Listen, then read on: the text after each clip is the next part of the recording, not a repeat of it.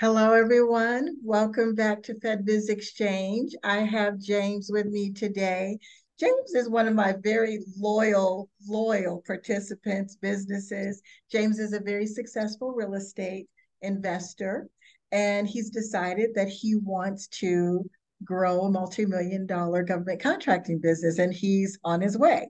So, James, tell me about the journey you were new to government contracting, never dealt with it before?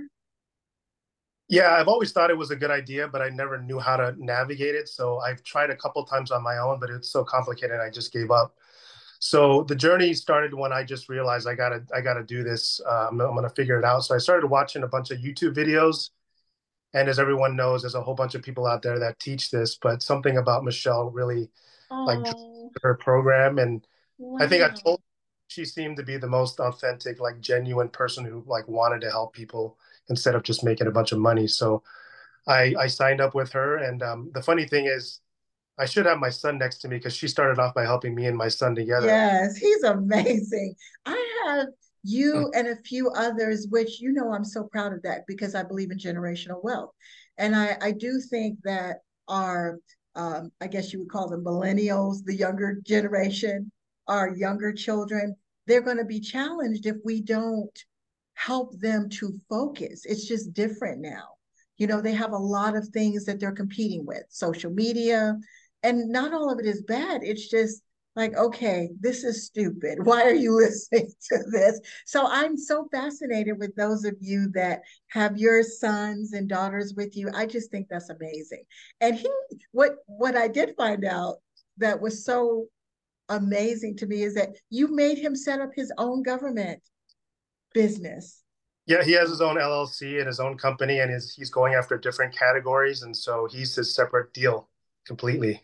Wow, he's so smart. He looks like he looks so young. He's a little, just a little bit older, but he's so smart. He's very, very quiet, but he, very- you can tell he's absorbing everything. When we're doing our sessions, he's just really getting into it. And then apparently he goes back and he does it. And then didn't he get a traceability letter?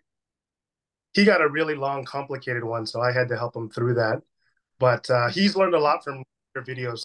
So he sometimes will approach me and say, "Hey, did you watch Bell's video?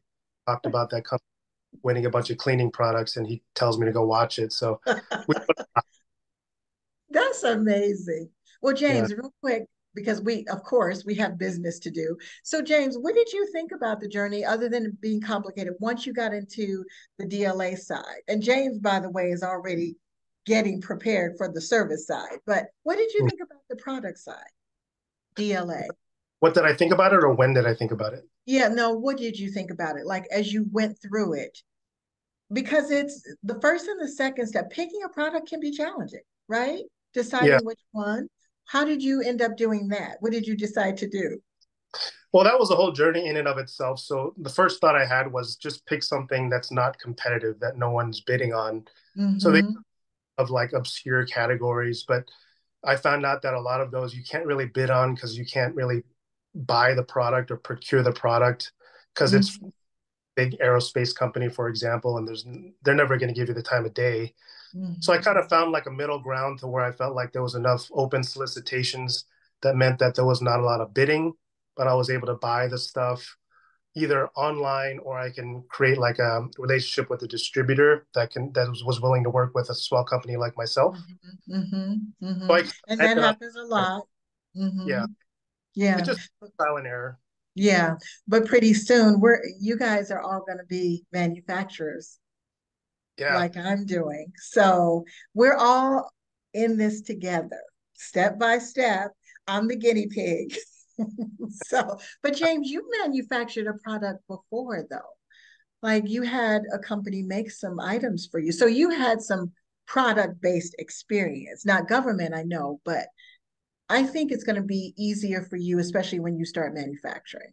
I do, because you understand what it's going to take. And then next week, you guys, we are in our mastermind and our mentorship. We're going into Tech Docs, which is about us starting our manufacturing journey because it takes those tech docs. Have you started looking at them yet? The tech docs? I've looked at a couple, but I, in the beginning, you kind of told us, hey, just stay away in the beginning. So yeah. my mentality is just still avoid them, but yeah. I definitely want to start delving into them because I think there's a lot of opportunity if you figure that out. There is, and Gordon actually has a good point that sometimes you find things that are not that difficult to maybe get someone to make them for you you know, mm-hmm. like I did in the beginning when I was kind of crazy. I didn't know any better. I was having people make stuff for me. But I, I looked at some of them and he's right. Some of them are going to be scary because they look more complicated. But a lot of them, when we peek in there, we might just find that, okay, this is simple. You know, I can have this made or re engineered, you know. Mm-hmm. So, but thank you so much and congr- congratulations. You're thank on you. your way. I told you once that door starts opening. So, uh, are you ready?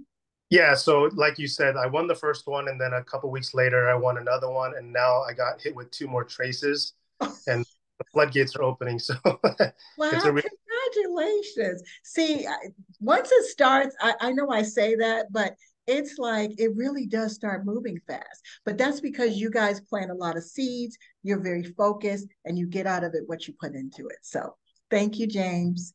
We got to get to work now. We'll talk All to right. you guys later. Thank you, James.